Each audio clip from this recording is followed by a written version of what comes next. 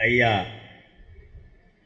ஆ ராமசாமி அவர்களின் எழுதிய தமிழ்நாட்டில் காந்தி என்ற நூல் வெளியீட்டு விழாவை தலைமையேற்றிருக்கின்ற தேசிய காந்தி அருங்காட்சியகம் புதுடெல்லி அதன் இயக்குனர் திரு அண்ணாமலை அவர்களே நூலை வெளியிட்டு தொடக்குரையாற்றியிருக்கின்ற திரு சி. ராஜேந்திரன் ஐஆர்எஸ் அவர்களே முதல் நூலை பெற்று சிறப்புரை ஆற்ற உள்ள எழுத்தாளர் திரு எஸ்ரா அவர்களே வாழ்த்துறை வழங்க உள்ள திருமதி சித்ரா பாலசுப்ரமணியம் அவர்களே காந்திய சிந்தனையாளர் காவி ஸ்ரீனிவாச மு- மூர்த்தி அவர்களே காந்தி கல்வி நிலையம் சென்னை அரங்காவலர் திரு விப்ரநாராயண் அவர்களே காந்தி அருங்காட்சியகம் மதுரை திரு நந்தாராவ் அவர்களே நன்றியுரையாற்ற உள்ள இரா கௌதம நாராயணன் வழக்கறிஞர் அவர்களே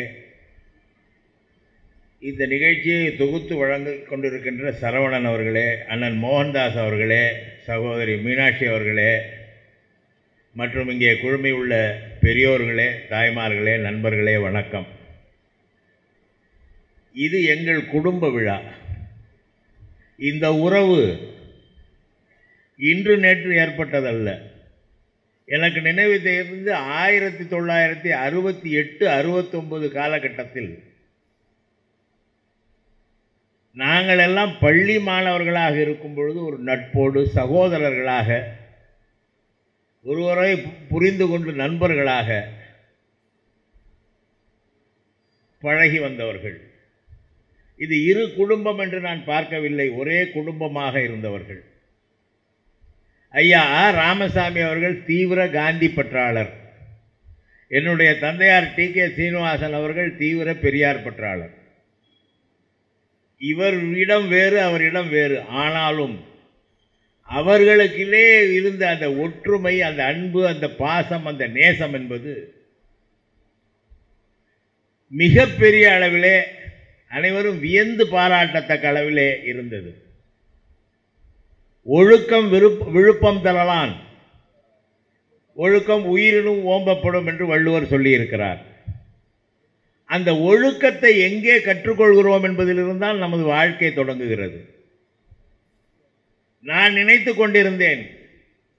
நாம் இப்படித்தான் வாழ வேண்டும் ஒழுக்கமாக வாழ வேண்டும் நேர்மையாக வாழ வேண்டும் என்றால் ஐயா ராமசாமி அவர்களை பார்த்து அவரிடமிருந்து கற்றுக்கொண்டு இருக்க வேண்டும் என்று நினைத்து கொண்டிருந்தேன்.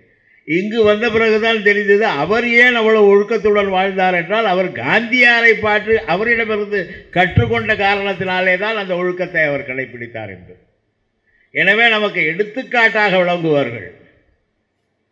ஒழுக்க சீலர்களாக இருந்தால் அந்த ஒழுக்கம் நம்மிடம் தானாக வந்துவிடும் என்பதை உணர்ந்தேன். என்னுடைய சகோதரர்கள் கௌதம நாராயணன் ஆகட்டும் அண்ணன் மோகன்தாஸ் ஆகட்டும் சகோதரி மீனாட்சி ஆகட்டும் மிக பண்போடும் நேசத்தோடும் பழகக்கூடியவர்கள் அதிர்ந்து பேசாதவர்கள். ஐயா ராமசாமி அவர்கள் தங்களுடைய பிள்ளைகளை எப்படி வளர்த்தார்? திட்டமிட்ட அதிலே கூட ஒரு திட்டமிடல். அவருடைய வாழ்க்கை முழுவதும் திட்டமிட்ட வாழ்க்கையாக இருந்தது. ஒரு மகன் வழக்கறிஞராக வேண்டும். ஒரு பிள்ளை பொறியாளராக வேண்டும். ஒரு பிள்ளை மருத்துவராக வேண்டும். அவர் வீட்டிலே எல்லோரும் இருக்கிறார் அந்த வகையிலே குழந்தைகளை தன்னுடைய பிள்ளைகளை கூட திட்டமிட்டு வளர்த்த எல்லாருக்கும் ஆசை இருக்கும். எல்லா வீட்லேயும் நம்ம பிள்ளைங்களை எல்லாரையும் டாக்டர் ஆக்கணும்னு நினைப்பான் வக்கீலாக ப்ராக்டிஸ் பண்ணுறவங்க நம்ம பிள்ளைகள்லாம் வக்கீலாக தான் ஆக்கணும்னு நினைப்பாங்க. ஆனால் இவர் அப்படி நினைக்கவில்லை. மிக அமைதியாக மிக அருமையாக அவருடைய ஆலோசனைகள் எல்லாம் ஒவ்வொன்றும் நாம் ஏற்றுக்கொண்டால் அது நம் வாழ்க்கைக்கு எந்த அளவுக்கு உதவும் என்பதை உணர்ந்தவன் என்ற நிலையிலே நின்று இன்று நான் பேசுகிறேன். ஒரு பள்ளி மாணவனாக நான் அவரை சந்தித்தவன் நெடுங்காலம் கல்லூரிக்கு சென்ற பிறகும் அதற்கு பிறகும் ரெண்டு பேர் இந்த எங்கள் நாங்கள் குடிய நாங்கள் வசித்த குடியிருப்பு பகுதிகளில் நாங்கள் எல்லாம் இளைஞர்கள் மாணவர்கள். மாணவர்களுடைய குறும்பு உங்களுக்கு தெரியும். மாணவர்களாக இருக்கும் பொழுது அதுவும் ஒரு ஐந்தாறு மாணவர்கள் சேர்ந்தால் இயல்பாகவே ஒரு குறும்புத்தனம் வந்துவிடும். ஆனாலும் நாங்கள் அந்த இடத்திற்கு செல்லும் பொழுது ஒரு அச்சத்தோடு செல்வோம். அது அச்சம் என்று சொல்லக்கூடாது. ஒரு மரியாதை என்று சொல்ல வேண்டும். ஒரு மாமனிதர் இங்கே இருக்கிறார். நம்முடைய குறும்புத்தனத்தை எல்லாம் வெளியேயே மூட்டை கேட்டு வைத்து வைத்து உள்ளே செல்ல வேண்டும். அந்த இடத்திற்கு செல்ல வேண்டும். நாங்கள் வாழ்ந்த பகுதிக்கு செல்ல வேண்டும் என்று அந்த எண்ணம் எங்கள் மனதில் தோன்றுகிறது என்றால் அவர்கள் அந்த ஒழுக்கத்தை கடைபிடித்தார்கள் அவர்கள் வாழ்க்கையிலே நேர்மையுடன் இருந்தார்கள். அவர்கள் எந்த வகையிலும் மற்றவர்களுக்கு தவறான எடுத்துக்காட்டாக அமையவில்லை மிகச்சரியான எடுத்துக்காட்டாக அமைந்தார்கள் என்று ஒரு இருவரை நம்மால் சொல்ல முடியும் என்றால் அதிலே ஐயா ஆ. ராமசாமி அவர்கள் ஒருவர் என்று நான் நிச்சயமாக உறுதிபட சொல்வேன். என்னுடைய அனுபவத்தின் நான் அதை சொல்கிறேன்.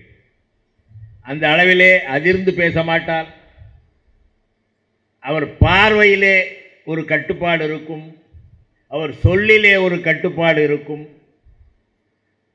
அந்த கட்டுப்பாடு நம்மை கட்டி போட்டு வைக்கும் நம்மை அதை மீறச் செய்யாது. அந்த அளவுக்கு அதிலே ஒரு பாசம் இருக்கும்.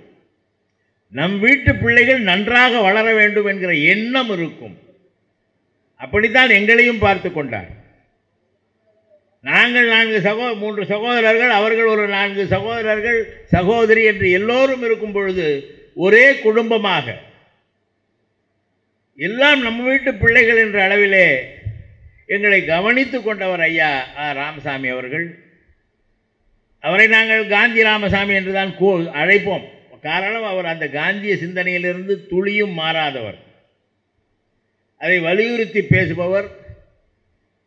அவர் ஒரு நல்ல எடுத்துக்காட்டாக இளைஞர்கள் வாழ்க்கையில் எப்படி முன்னேற வேண்டும் எப்படி ஒரு கொள்கை உறுதியோடு முன்னேற வேண்டும் என்பது. இது கொள்கை தான் முக்கியம். நம்ம வா எப்படியாவது வாழ்ந்து விடலாம். வாழ்க்கையிலே வெற்றி என்பது பணம் சேர்ப்பது என்ற நிலையிலிருந்து வாழ்க்கையிலே வெற்றி என்பது பெரிய பதவிகளை அடைவது என்கிற நிலையிலிருந்து வாழ்க்கையிலே வெற்றி என்பது மற்றவர்கள் நம்மை பின்பற்றி நடக்க வேண்டும். ஒரு வாழ்க்கையை வாழ்வதுதான் மிகப்பெரிய வெற்றி என்று நினைத்து வாழ்ந்தவர்களிலே ஐயா ராமசாமி அவர்களை நான் எனக்கு தெரிந்த வகையிலே மிகவும் பெரிதாக போற்றுகிறேன். அந்த அளவிலே நாங்கள் எங்களுக்கெல்லாம் அவர் வழிகாட்டியாக திகழ்ந்தார். எங்களுக்கு நிறைய சொல்லிக் கொடுப்பார். அவர் பேசுவது குறைவுதான் என்றாலும் அவருடைய பேச்சில் தேவையற்ற சொற்கள் இருக்காது. அதுதான் முக்கியம். நம் வீட்டு பிள்ளைகள் அவர்களை எப்படி வளர்க்க வேண்டும் எப்படி அவர்கள் வாழ வேண்டும் என்பதற்கான சரியான எடுத்துக்காட்டுகளை சொல்லி நம்மை சரியான பாதைக்கு வழிகாட்டக்கூடிய ஒரு நல்ல மாமனிதராக அவர் இருந்தார். என்னுடைய தந்தையாருக்கும் அவருக்கும் ஒரு அவர் ஓராண்டு காலம் இளையவராக இருந்திருப்பார். ஒரு ஆறு மாத காலம் வேறுபாடு. என்னுடைய தந்தையாரின் நூற்றாண்டு விழா கடந்த ஆண்டு ரெண்டாயிரத்தி இருபத்தி இரண்டில் வந்தது. அந்த நேரத்திலே என் தந்தையார் எழுதிய நூல்களை எல்லாம் நான் வெளியிட்டேன். இன்றைக்கு நம்முடைய சகோதரர்கள் ஐயா ராமசாமி அவர்களுடைய நூற்றாண்டை ஒட்டி அவர் எழுதிய ஒரு நூலை இங்கே வெளியிட்டிருக்கிறார்கள் என்றது என்றது என்பது மகிழ்ச்சிக்குரிய விஷயம். ஏனென்றால் காந்தியை பலரும் மறந்திருப்பார்கள் இப்பொழுது. காந்திக்கு இன்றைய அரசியலிலே வேலை இருக்கிறதா என்று எனக்கு தெரியவில்லை. எனவே காந்தியை நினைவுபடுத்துவது கொள்வதற்காகவாவது இந்த நூலை எல்லோரும் படித்தாக வேண்டும் என்று நான் சொல்கிறேன். நான் சில பகுதிகளை அவ்வப்போது படித்திருக்கிறேன் பெரிதாக படிக்கவில்லை. இப்பொழுது முழுமையாக அதை படிக்க வேண்டும் என்கிற எண்ணம் எனக்கு ஏற்பட்டிருக்கிறது. மாமனிதர்களை பாருங்கள். அவர்கள் எப்படி வாழ்ந்தார்கள் என்று பாருங்கள். அவர்களை இன்றும் மதிக்கும் அளவுக்கு தங்களுடைய வாழ்க்கையை அமைத்து கொண்டார்கள். இங்கே உள்ளவர்களுக்கெல்லாம் சொல்கிறேன் பணம் பதவி எல்லாம் நமக்கு தருகிற மரியாதையை விட நம்முடைய வாழ்வியல் முறை நாம் வாழும் முறை நமக்கு தருகிற மரியாதை மிகப்பெரிய மரியாதை என்று சொல்லி இந்த நேரத்தில் ஐயா அவர்களின் நினைவை போற்றி இந்த வாய்ப்புக்கு நன்றி கூறி விடைபெறுகிறேன். வணக்கம்.